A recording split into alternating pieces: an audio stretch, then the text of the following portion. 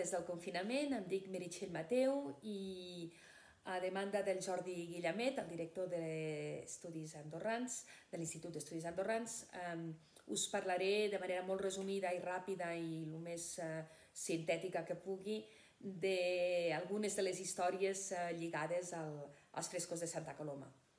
Eh, vosaltres sabeu que el llegat eh, romànic del Principat eh, va sortir eh, del Principat perquè el van vendre, en aquella època nosaltres no pensàvem de que era important, i, però sí que a Europa i arreu del món hi havia eh, molta gent que el trobaven molt preuat. Eh, de fet, als Estats Units hi ha un lloc que es diu The Cloisters, a, a Nova York, on, on, on, on hi ha doncs, ple de romànics, sobretot del Pirineu.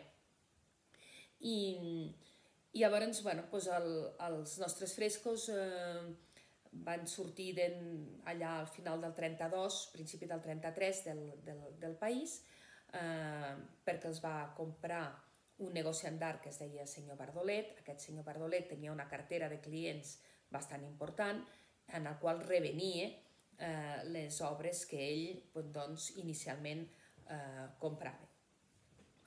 Llavors, els marxen d'Andorra, se'n van segurament a Barcelona, però després d'allà mm, es parteixen. Eh, I com ho sabem això? Ho sabem doncs, perquè al 1935 apareixen una part, eh, una part del conjunt important, amb un, el catàleg d'una exposició de, que es fa a Aix-en-Provence, 1935, amb el nom de Cofimi. Cofimi, eh, Sofimi, perdó. Sofimi era la, una societat patrimonial que havia creat el comprador, que era senyor, senyor Kassel, Baró Kassel, i eh, en la qual tenia totes les seves obres d'art. I després, a l'any 38, apareix dos, dos altres parts del conjunt dels frescos de Santa Coloma, que són els dos sants, el Sant Gregori i el Sant Silvestre, apareixen a, a la Brumer Gallery a Nova York. És a dir, aquí sabem de que els frescos, el conjunt ha estat separat. Llavors, um, com que els, el, nosaltres el que volíem era que aquests frescos eh, tornessin a, a casa i no arribàvem a saber com, com, podia, com podien fer-ho. Els havíem vist la primera vegada a l'any 1980 al conjunt important, eh? no els, sense els dos sants, doncs el conjunt important eh, s'havia vist als anys, al 1980 a Berlín en el motiu del el, el milè aniversari de la ciutat de Berlín es va organitzar una exposició i en allà hi van exposar els nostres frescos. Uh, la casualitat va fer que alguns andorrans ho van veure i a partir d'aquí es va organitzar tota una sèrie de, de, de diàlegs i de, i de reunions perquè els frescos poguessin venir aquí a Andorra a l'any 1989 quan es va organitzar una exposició eh, molt, molt ambiciosa per part de la, de la Conselleria de Cultura que es deia Andorra Romànica. En aquell moment els frescos van arribar aquí restaurats, en aquella època estaven restaurats de manera molt senzilla, molt plana, veieu aquí, veieu, aquí, és a dir, que sense respectar la forma còncava que té la volta de, de l'església. bueno, uns 10 anys més tard, una mica menys, 8-9 anys més tard, el Ministeri de Cultura va pensar de tornar a reeditar una, una, una, altra, no, una altra exposició d'igual o més gran magnitud que l'Andorra romànica i es va intentar posar en contacte amb els museus de Berlín per tornar-los a demanar les, uh, els frescos. Però els museus de Berlín no, no, no els donaven resposta i aleshores em van contactar a mi, que jo en aquell moment doncs, eh, Eh, estava a Bèlgica i també m'ocupava d'Alemanya per, per, per, perquè els donés un cop de mà. I així doncs, em vaig posar amb ells a, a investigar. En aquestes investigacions eh, vam trobar diferents coses. Eh, la primera cosa és de que el, el baró eh, Kassel eh, no era alemany com m'havien dit a mi, ja ens havien dit a la majoria de, de gent a Andorra. L'ambaixador Wegener, que era l'ambaixador alemany a Andorra a l'època, ell deia de que era un, un, un alemany que havia tingut molts problemes amb la hisenda alemanya i que aleshores eh, havia tingut, per, per, per saldar el seu deute, havia tingut que donar tot el seu patrimoni a l'estat alemany. Bé, això fals, fals. Eh? Vam descobrir que fals. Com es va descobrir que era fals? Doncs perquè eh, eh, vaig veure de que no era von Kassel, sinó que es deia Van Kassel, amb la B baixa petita, en minúscula. I això vol dir que, és, que era belga. I ara ens vaig dir, home, si és belga, i ara jo estava a Bèlgica, vaig dir, doncs haig d'investigar què, què és aquest Van Kassel, que era el propietari, perquè si és, si és belga i no és alemany, vol dir que tenim, potser tenim algunes... Eh, Andorra té una, una, una, algunes opcions per, per, per, per recuperar aquest, aquest llegat. I, d'altra banda, eh, com que volíem saber on estaven aquestes obres, eh, vam començar a demanar a, a, a on se podien trobar. I el, vam saber que es deia Hans Heiglander, el restaurador, i perquè va venir a Andorra a veure l'hàbitat original d'aquests frescos.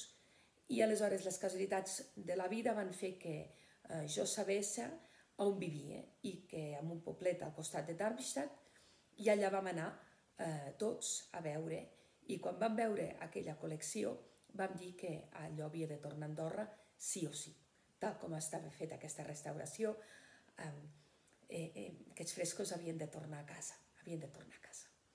I, i a partir d'aquí doncs, vam començar a mirar eh, com ho podien fer.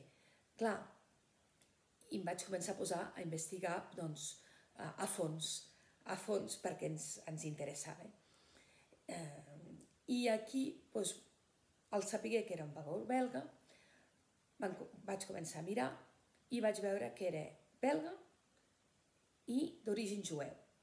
És clar, belga d'origen jueu que eh, un senyor que es va casar amb una, amb una holandesa, també noble, i que just abans de la guerra va mm, distribuir tot el seu llegat en diferents dipòsits i que va posar al capdavant eh, diferents administradors, però un administrador molt important que es deia senyor de Riclès, que no era jueu, i ell se'n va anar als Estats Units. Em va portar tota la família i la secretària als Estats Units. I aleshores, bueno, això és eh, el que sabem. Erans a partir d'aquí, diguem, bueno, si no, és bel, si no és alemany i és belga, vol dir hem d'anar a trobar aquests hereus. Per què hem de trobar aquests hereus? Perquè des del 1999 que s'havien reobert una mica tots els casos de eh, eh, de, de, de famílies que havien estat espoliades pels alemans. La majoria d'obres d'art s'havien retornat eh, després de la guerra, els, els americans havien retornat la majoria de llegat a totes les, eh, les famílies, però eh, moltes coses s'havien quedat sense retornar i llavors cada estat s'havia fet custodi d'aquestes obres eh, fins retrobar eh, els hereus però eh, molts llocs, moltes vegades els estats havien fet el ronso i no havien retornat res. Llavors, arran d'un escàndol que va haver l'any 99 a Suïssa, es va fer un, una conferència a, a Chicago i es, tots els estats es van comprometre a, a, a tornar a posar en marxa les comissions d'investigació per retornar les obres aquí, eh, aquí de qui eren els, els, els legítims propietaris. I així ho van fer. I aleshores això va fer que eh, nosaltres poguéssim acollir-nos i eh, mirar de retrobar els hereus. Però era una cursa, eh, contra, eh, una cursa perquè els alemans també ho volien fer, volien, volien retrobar i, i, i, i no, i no deixar-nos a nosaltres comprar aquestes obres. Va haver una, una competició en aquesta competició en la qual també s'hi va posar el Manac, perquè també volia eh, completar la col·lecció que té a, a, a Barcelona. I no, no, nosaltres ho volíem per nosaltres. I així doncs, va ser com ens vam poder posar en contacte amb la família, que amb una de les filles d'Alvaro Kassel vivia a San Francisco, viu a San Francisco, en aquell moment la seva mare encara vivia, la van poder anar a veure, van poder fer un compromís de, de venda, però aquest compromís de venda era només del 92% del llegat, perquè el baró va deixar el 8% del llegat a la secretària.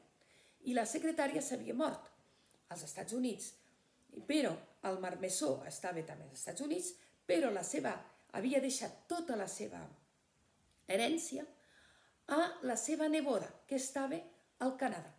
I llavors doncs, bueno, doncs vam dir que nosaltres corre corrents al, cap, al Canadà també per demanar que ens venguessi aquest 8% dels frescos, del conjunt dels frescos. Així ens va fer una mica la, la negociació amb molts problemes a sobre perquè Alemanya hi va posar moltes, molts eh, molts problemes. A Alemanya primer va dir que la família tenia que pagar la restauració, que pujava molts, molts diners. Eh, després eh, eh, va haver diferents tribunals eh, a Charlottenburg, eh, sobretot, que van dir que això no es podia posar d'aquella manera. Bueno, van posar pals a les rodes, molts pals per les rodes, però es va poder anar subsanar. I finalment, aquests frescos, doncs, eh, gràcies a, a, a l'empeny, es van poder comprar. Aquí a Andorra també es va fer un crèdit extraordinari per, fer, per, per, per, per tenir els diners i poder-les comprar, per poder-los saber quin valor tenien. Vam contractar a tres eh, cases de subhastes que ens van fer eh, tres estimacions per poder saber una mica i vam agafar l'estimació del mig per proposar a la, a la família la compra tot i sabent que tant Alemanya com eh, el Manac anaven al darrere i que volien postar més, però la família finalment ens va, va decidir vendre'ns-ho a nosaltres i després de moltes negociacions i de totes les traves administratives i jurídiques que ens van posar els alemans, eh, van poder tornar cap aquí a casa i ara estan feliços, feliçment exposats en un lloc preciós que és a l'Espai Columba i després el mapping que ha fet Patrimoni Cultural um, a l'Església de Santa Coloma no té preu. Un altre dia us explicaré què va ser dels dos sants, d'aquests dos sants que eh, van exposar-se al 38 a, a, a Nova York. Un dels sants el va comprar al Castle, però no sabem on està.